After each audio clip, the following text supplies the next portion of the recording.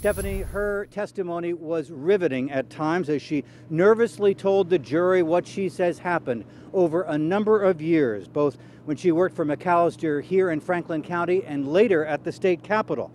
These charges are serious. They have the potential to send the senator to prison for life. On opening day of Senator Norm McAllister's rape trial, his accuser took the witness stand. No video allowed of the ponytailed blonde woman, now 21, who is still in high school working on the Franklin County Senator's dairy farm when she says it all started. Eyeballing up and down, you know, how one person checks another person out. Like In court, she could barely look at McAllister across the room as she testified the 64 year old lawmaker forced her to perform oral sex in his barn one day.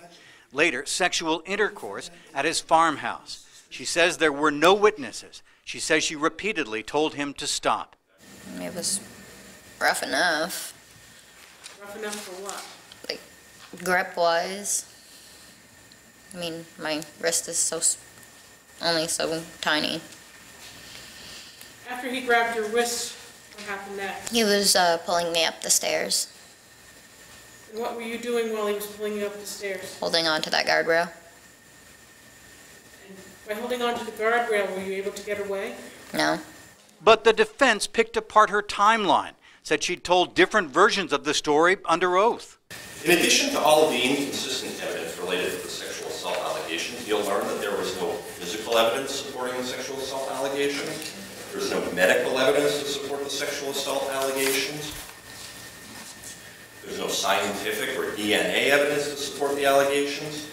And she'd agreed to work as McAllister's statehouse intern and volunteer on his 2014 reelection campaign, despite all she says happened. Prosecutors uh, say that the young accuser kept all of this secret because she was convinced even her own mother would not believe her until detectives knocked on her door just last summer when investigating unrelated sex allegations against Senator McAllister. Testimony has wrapped up for the day. On Thursday, she'll be back on the stand, followed by state police detectives and some of McAllister's colleagues from the State House as this sensational trial continues day two here in St. Albans. Stephanie?